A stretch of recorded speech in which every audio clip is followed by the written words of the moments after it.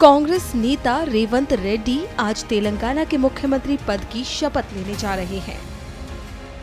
शपथ ग्रहण में शामिल होने के लिए सोनिया गांधी, राहुल गांधी और प्रियंका गांधी दिल्ली से हैदराबाद पहुँच चुके हैं।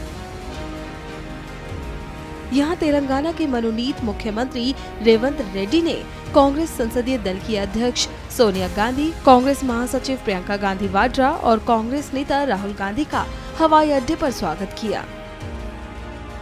इनके साथ ही कांग्रेस सांसद दीपेंद्र हुड्डा भी हैदराबाद पहुँचे।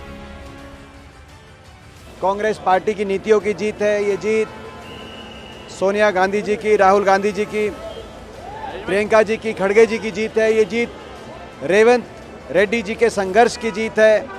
और हमें पूरा विश्वास है कि आज एक नया अध्याय तेलंगाना के इतिहास में एक न्यू चैप्टर, एंड तेलंगाना देश में विकास के रास्ते पे आगे पहुँचे सबसे आगे पहुँचे ऐसी शुभकामनाएँ तेलंगाना की नई सरकार को हम दे रहे हैं। बता दें कि तेलंगाना में हुए विधानसभा चुनाव में कांग्रेस ने प्रचंड जीत हासिल की है।